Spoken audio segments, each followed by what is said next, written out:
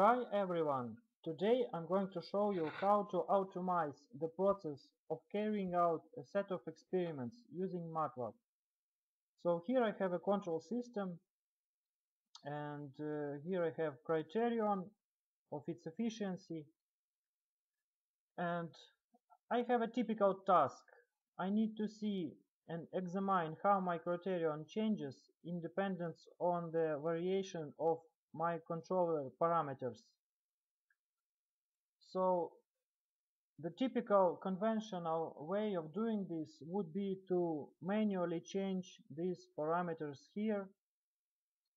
And after each change run the model, check the criterion, write it down in the table. And uh, but this is very inefficient and takes a long time and I will show you how to do it uh, the smart way. So we will create a new script and the first thing would be to define the model we will be using. Our model name is M1. So we write down its name here. Then we load it.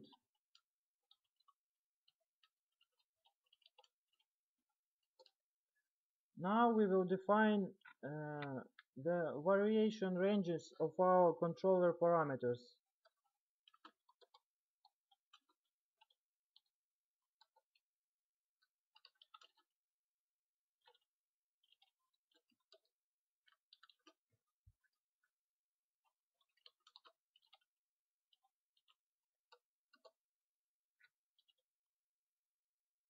And since we have uh, two parameters for variation, we will create two cycles.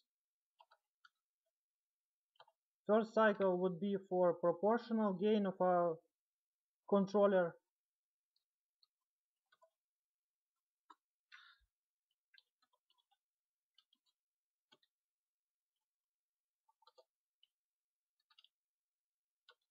And the second one will be for integral part of our controller.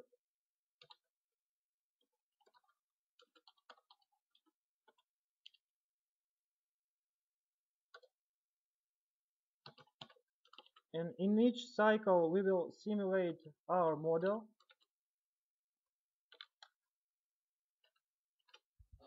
and write down in our matrix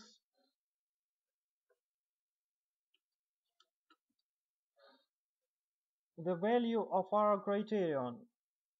I have it in the display and also I copy it to this vari variable. So by this string I'm putting the value after simulation in the matrix.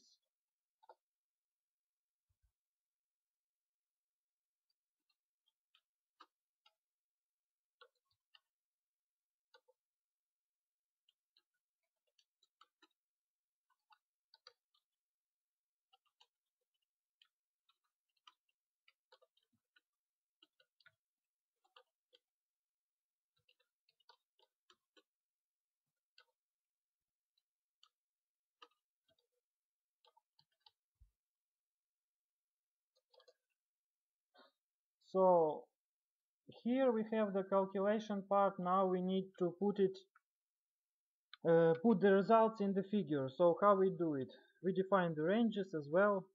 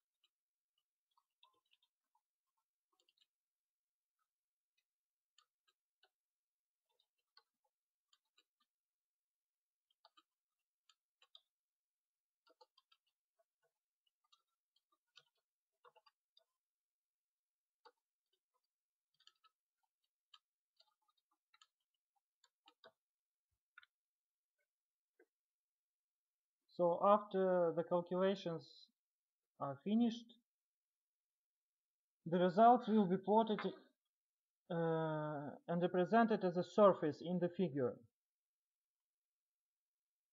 So we are ready and now only what we have to do is to push run. Ah, so first we save it. Okay, save.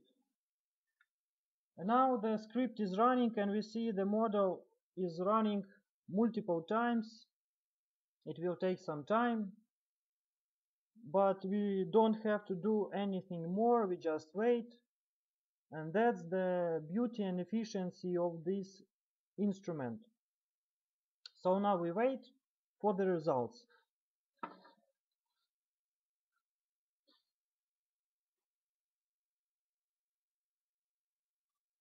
Calculations are finished. The script has put the results as a surface in the figure.